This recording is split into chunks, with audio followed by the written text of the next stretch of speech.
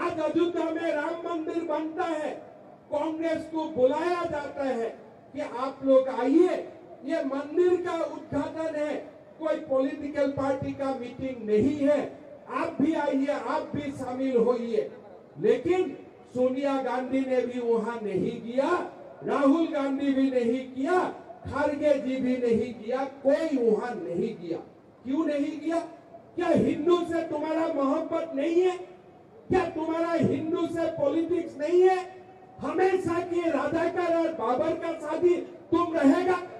अरे समझ लो, ये देश राधा राधाकर और बाबर का साथ नहीं रहेगा। ये देश राम और कृष्ण का साथ रहेगा। ये बात कांग्रेस लोग, आप लोग समझ लो। भाई और बहनों, मेरा दुख लगते है। 500 साल बाद हिंदू का भव्य राम मंदिर बना। कांग्रेस लोग नहीं आया। लेकिन हमारा तेलंगाना का सीएम क्या करता है? तबलीगी जमात में वो पैसा देता है। कर्नाटक का सीएम क्या करता है? वाकफ बोर्ड में पैसा देते हैं।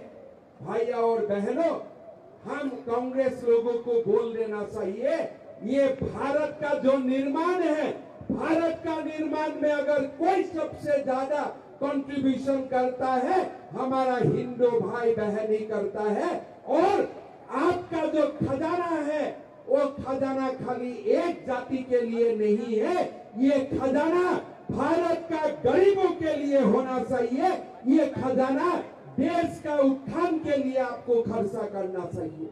नहीं किया? क्या हिंदू से तुम्हारा मोहब्बत नहीं है?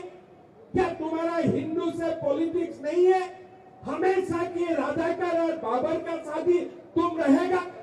अरे समझ लो, ये देश राधा राधाकर और बाबर का साथ नहीं रहेगा। ये देश राम और कृष्ण का साथ रहेगा। ये बात कांग्रेस लोग, आप लोग समझ लो। भाई और बहनों, मेरा दुख लगते है। 500 साल बाद हिंदू का भव्य राम मंदिर बना। कांग्रेस लोग नहीं आया। लेकिन हमारा तेलंगाना का सीएम क्या करता है? तबलीगी जमात में वो पैसा देता है। कर्नाटक का सीएम क्या करता है? वाकफ बोर्ड में पैसा देते हैं।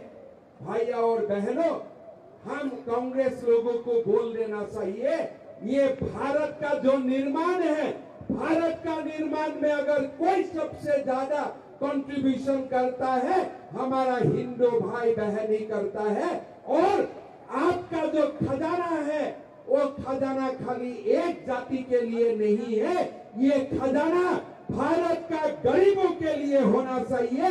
ये खजाना देश का उत्थान के लिए आपको खर्चा करना चाहिए।